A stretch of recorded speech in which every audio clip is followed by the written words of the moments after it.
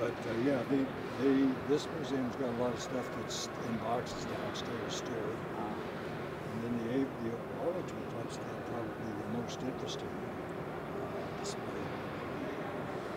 Is where the most interesting. Arlington. Arlington.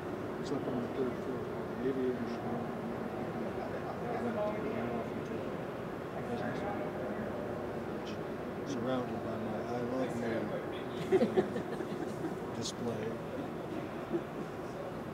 I'll take you down there sometime too. Well, that's that You have your, your conversation group still going or oh, whatever? Oh yes, yes.